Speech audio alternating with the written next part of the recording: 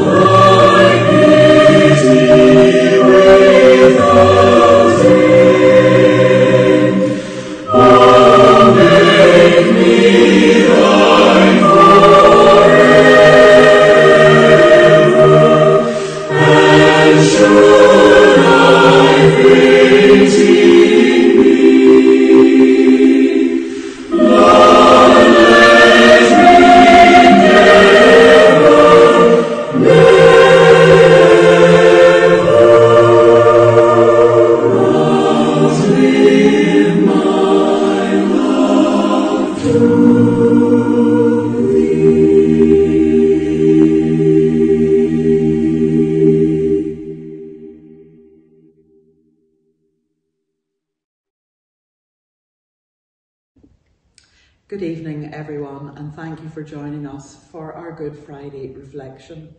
This is one of the most sombre days in the Christian year, but it's also one of the most important. And we meet here to worship the Lord who gave himself for us. Alex is going to bring us a reading from John's Gospel. Then Pilate took Jesus and had him flogged. The soldiers twisted together a crown of thorns and put it on his head. They clothed him in a purple robe and went, and went up to him again and again, saying, Hail, King of the Jews! And they slapped him in the face. Once more, Pilate came out and said to the Jews gathered there, Look, I am bringing him out to you. Let you know that I have found no basis for a charge against him. When Jesus came out wearing the crown of thorns and the purple robe, Pilate said to them, Here's the man. As soon as the chief priests and their officials saw him, they shouted, Crucify, crucify. But Pilate answered, You take him and crucify him. As for me, I find no basis for a charge against him. The Jewish leaders insisted, We have a law, and according to that law he must die, because he claimed to be the Son of God. When Pilate heard this, he was even more afraid, and he went back inside the palace. Where do you come from? he asked Jesus. But Jesus gave him no answer. Do you refuse to speak to me? Pilate said, Don't you realize I have power either to free you or to crucify you? Jesus answered, You would have no power over me if it were not not given to you from above. Therefore, the one who handed me over to you is guilty of a great sin. From then on, Pilate tried to set Jesus free, but the Jewish leaders kept shouting, If you let this man go, you are no friend of Caesar. Anyone who claims to be a king opposes Caesar. When Pilate heard this, he brought Jesus out and sat down in the judge's seat, at a place known as the stone pavement, which is in Aramaic in Gabbatha. It was the day of preparation of the Passover. It was about noon. Here's your king, Pilate said to the Jews. But they shouted, Take him away, take him away, crucify him. Shall I crucify your king? Pilate asked. We have no king but Caesar, the chief priest answered.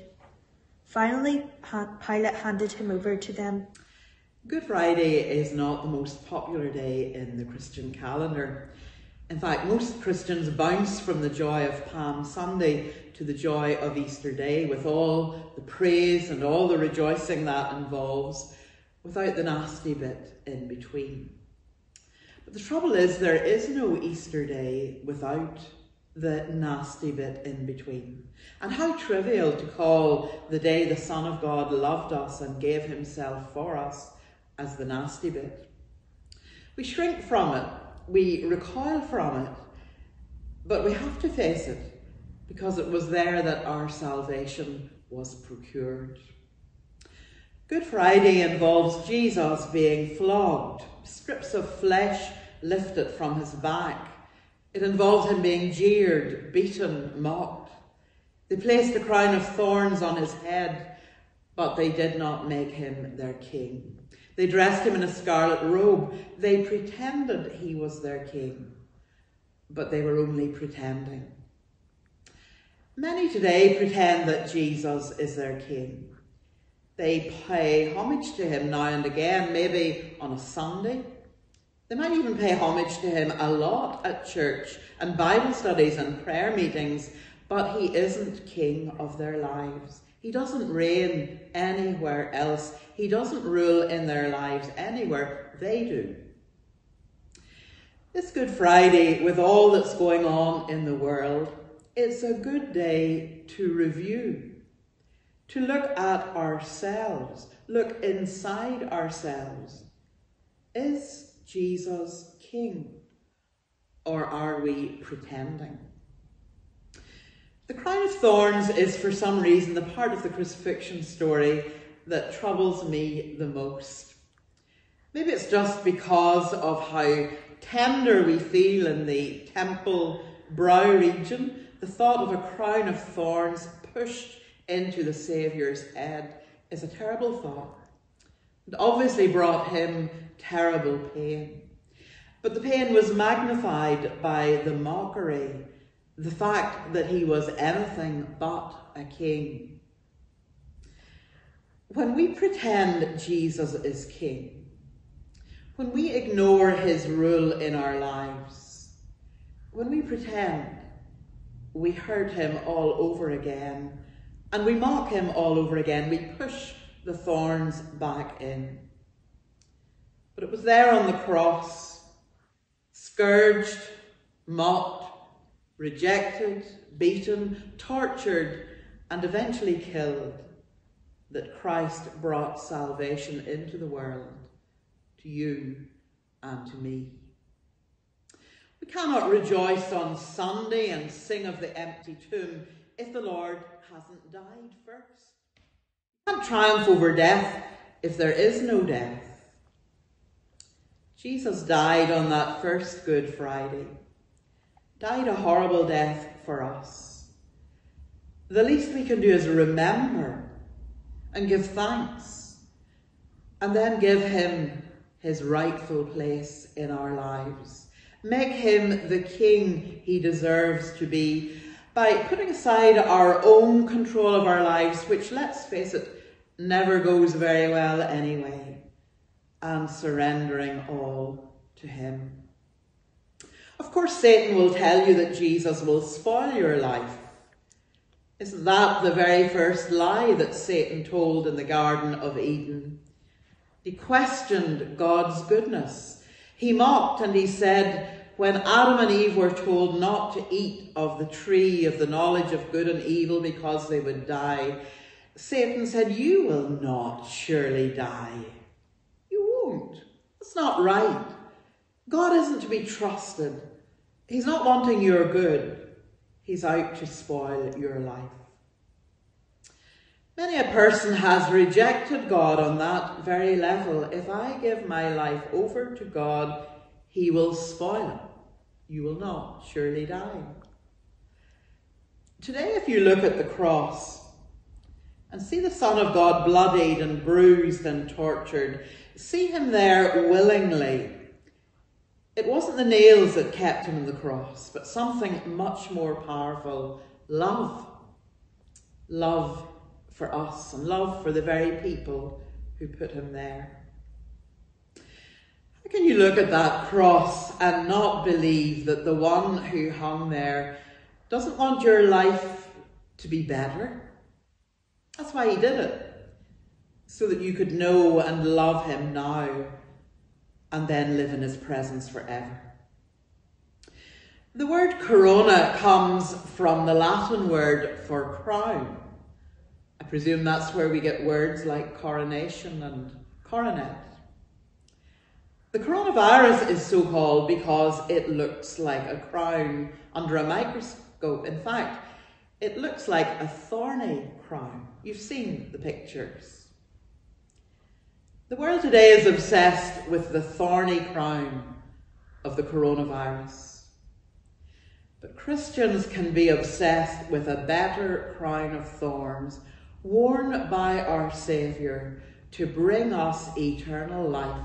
One corona brings death, and the other brings life.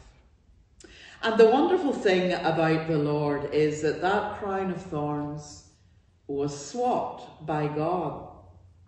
The Apostle Paul, writing to the Philippians, says, Therefore God exalted him, Jesus, to the highest place and gave him the name that is above every name, that at the name of Jesus every knee should bow in heaven and on earth, and every tongue confess that Jesus Christ is Lord, to the glory of God the Father. One day he will reign as King of kings and Lord of lords, no mocking, no pretending.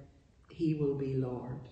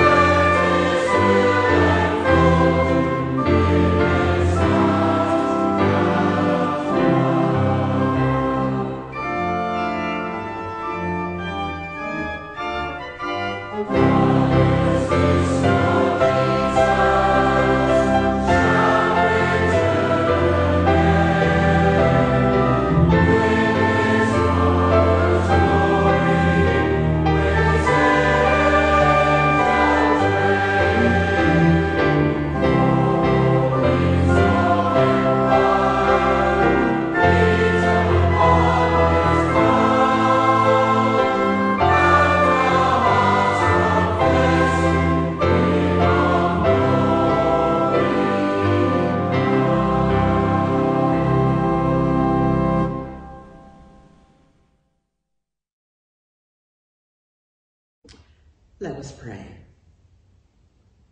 Dear Jesus, we come to you in prayer today on Good Friday, remembering the day you were tried, convicted, mocked, beaten, and crucified. We remember how you died and were laid in the tomb amid the sounds of incredible grief, fear, shock, and sorrow. Instead of jumping ahead to the happy ending when you arose from the dead on Easter morning, help us to meditate today on Good Friday on your great sacrifice, your suffering and pain that you endured for our sake and for the sake of the whole world. In our greatest times of suffering, we realize that we never have suffered as you did.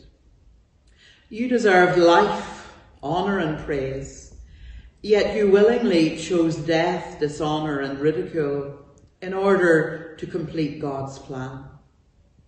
You could have opened your mouth and with just a few words you could have answered your accusers and proven them to be frauds, hypocrites and liars, yet you remained silent.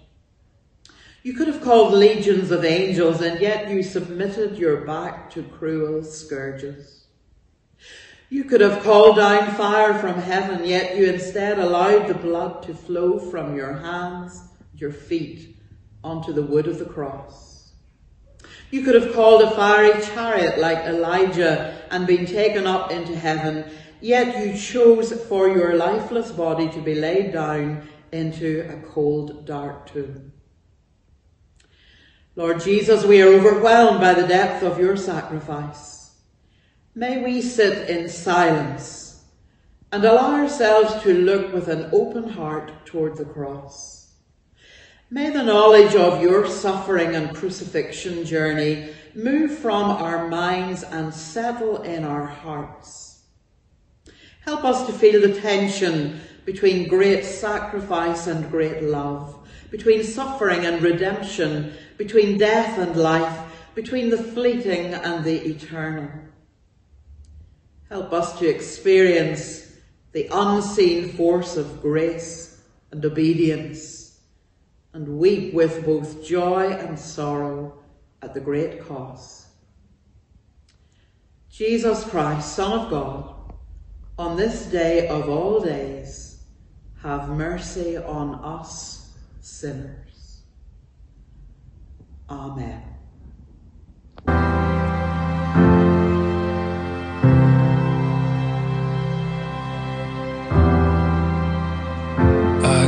Cast my mind to Calvary where Jesus bled and died for me.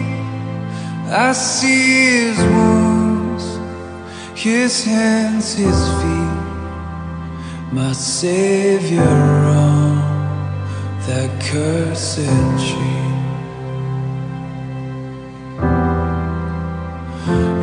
Body bound and drenched in tears, they laid him down in Joseph's tomb, the entrance sealed by heavy stone.